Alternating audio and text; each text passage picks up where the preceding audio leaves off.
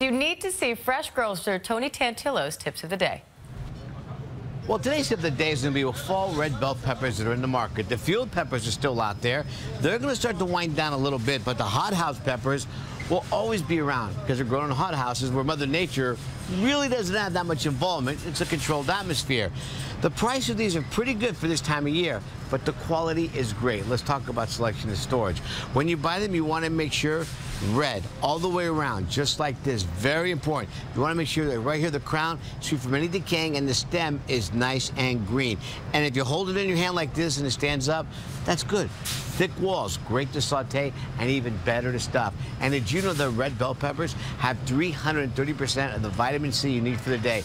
They are great. So there you go, red peppers with all the different color peppers in the market. Enjoy. Good for us and they taste good. And sometimes I think this display is going to fall on me.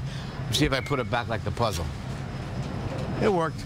And I'm Tony Tantillo you're fresh grocer. And always remember to eat fresh and stay healthy. I'm still going to walk away from this.